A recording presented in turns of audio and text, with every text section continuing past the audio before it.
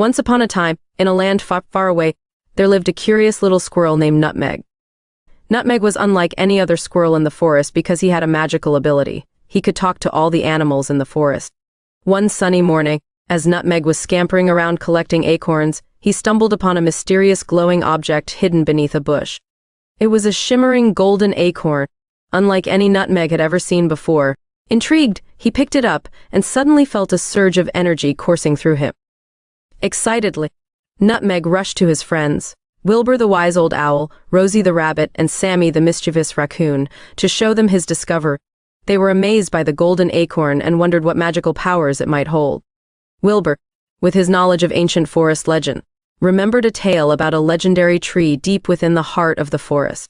It was said that whoever possessed the golden acorn could unlock the tree's secrets and bring prosperity and harmony to the entire forest. Determined to uncover the truth, Nutmeg and his friends embarked on an epic adventure through the dense forest, facing many challenges along the way. They encountered cunning foxes, slippery snakes, and even a grumpy bear, but they never lost hope.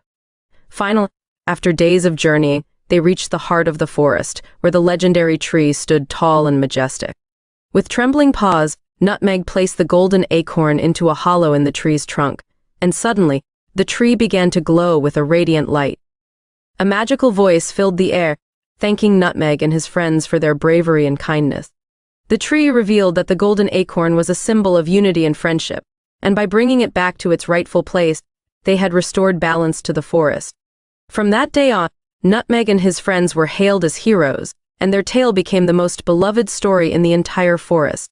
People from far and wide came to hear about their incredible adventure, and it was even turned into a popular story spreading their message of friendship and unity to children all around the world.